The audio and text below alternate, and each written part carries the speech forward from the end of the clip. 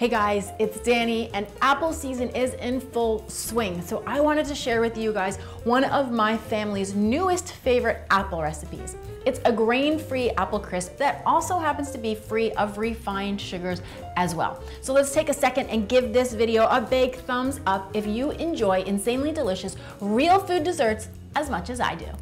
Okay, now listen here.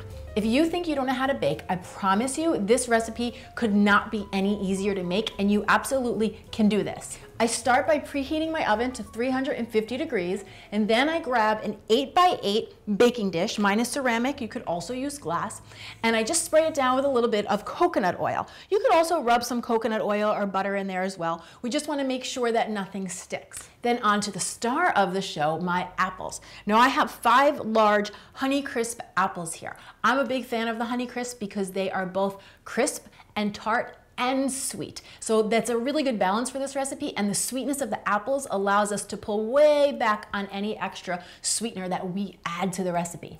To cut up the apples, I just like to cut off each apple cheek and then the remaining side.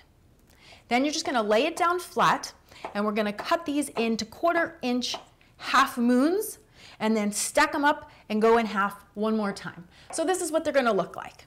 Repeat that until you've got all the apples ready to go.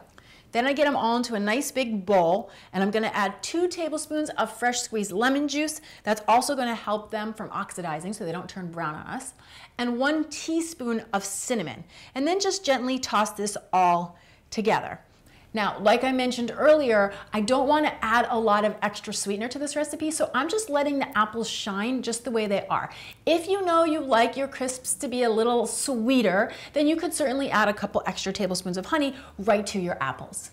Then I'm just going to transfer my apples into my prepared baking dish, and we're just going to lightly even them out on the top so that they're nice and flat. Onto the topping. Now you are gonna need a food processor for this recipe. Mini food processor is perfect for the job, but I do wanna note that most minis are three cups. That means that's how much they hold.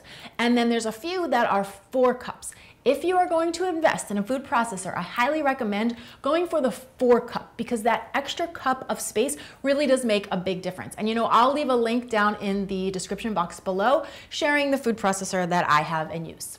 So into my processor goes a half a cup each of raw almonds, pecans, and walnuts. Then I'm drizzling in a quarter cup of honey. Again, that's all the added sweetener we're using. And then I have a half a cup of shredded coconut, which also has a nice natural sweetness to it, and that helps us to pull back on the added sweeteners. Sprinkle in a quarter teaspoon of salt, three tablespoons of melted organic pastured butter, and we are gonna chat about butter in just a second.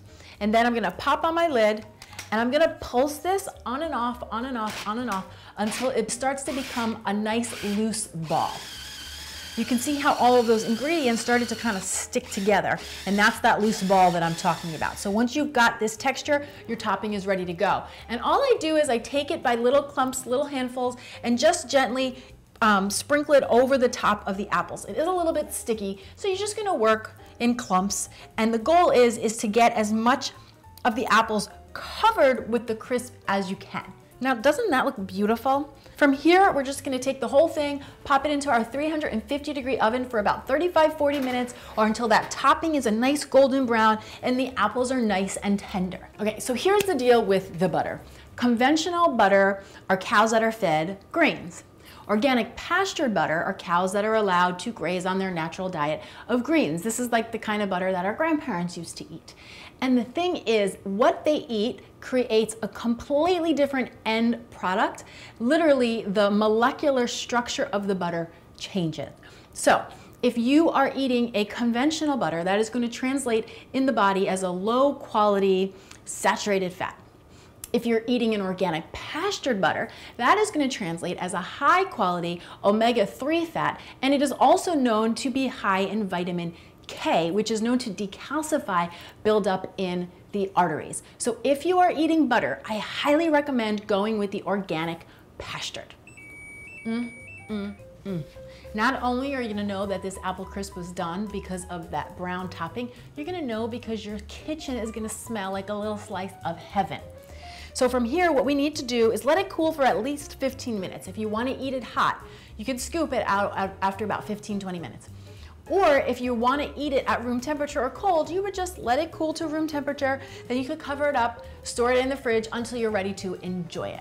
But my friends, when it is time to enjoy, I say the best way to enjoy it is to heat it up, make sure it's nice and warm like this is here, and then give it a scoop of your very favorite vanilla ice cream. You could also do yogurt here.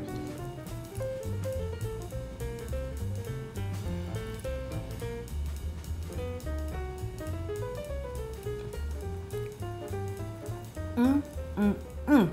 This is my kind of crisp. The apples, they're tender, but they still maintain that integrity. So they still have a little bite to them, which I love because it makes it taste really fresh and vibrant.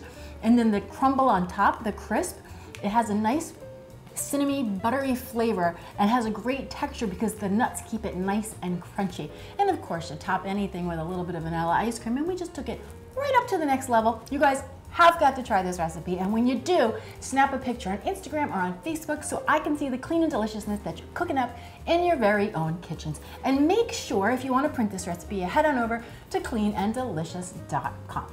Thanks so much for watching, guys. I'm Dani Spies. I will see you back here next time with some more clean and deliciousness. Cheers. Gotta find my spoon. That is the bomb. Real food desserts.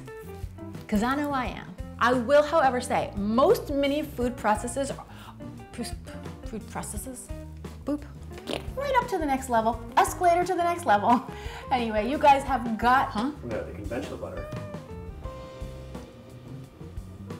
Oh, that's not the next line. Oh, yeah. I, I, I needed to add something, is what I'm saying. Okay.